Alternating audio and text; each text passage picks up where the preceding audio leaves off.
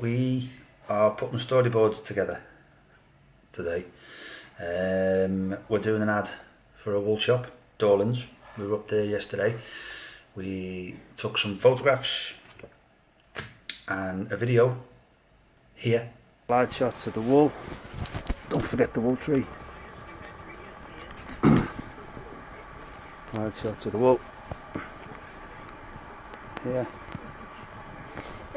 Chasing Katie around the table. So yeah, we were just doing little bits, bits and bobs up there. Um, I've taken the photographs and I've turned them into a storyboard. Now this is the first storyboard I've ever done. So I'm not sure if this is how it's done, but I'm doing it the way I want to do it. Hello? Hello? We have a cat.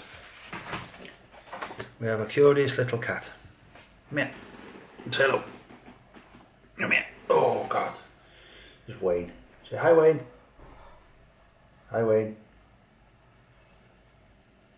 Okay, I'm busy, so do you mind? Hey, can I get back to it please? Is that okay with you? Okay? Good. So storyboarding up. Once these are done, I will uh, show you.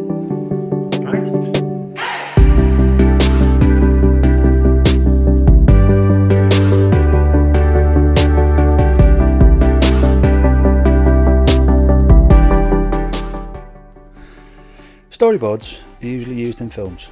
The director sits down with the artist and together they'll draw each shot that the camera sees. This gives the director an idea of how the shots will look when filming begins. They'll also make notes of anything the director or film crew need to be aware of, like actor positions and lighting, as well as instructions on how the camera should move during each shot. But my problem is I can't draw, and I didn't have time to go looking for an artist. I did have a camera though, so I thought, well, why not use photographs instead of drawings? It's more or less the same thing, isn't it? Of course it is. All I had to do was work out the shots I wanted in my head and wander through the shop taking photographs of everything I wanted to film. Worked perfectly. I printed the photos out on some 4x6 photo paper, fluttered my eyelashes at Michaela and borrowed a couple of sheets of her A3R card. Thank you, Michaela. I sequenced the photographs into the order I wanted and stuck them to the card, sectioned it off, and wrote my camera movements, notes, and reminders off to the side. Dead easy. That's literally all I did. Nothing else.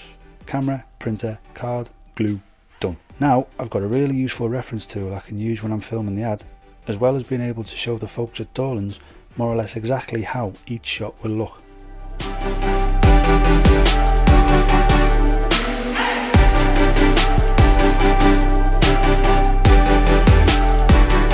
There we go. All done. I did a floor map as well. Obviously, I'm not going to show that. Um, but yeah, brilliant. Happy days. I'll show you a little bit of the floor map. It's got all the. Sorry about the drilling. It's got the all the camera moves and stuff on. You know, I'm not going to show. I won't. I, I, I don't want to show you all. Um, so we'll keep that. But yeah, it's got the camera movements and all a little bit of the floor plan for the for the shop. Just uh, just adds to it, doesn't it? And then they can see where in the shop that you know the shots are taking place. Happy days, happy with that. See you later.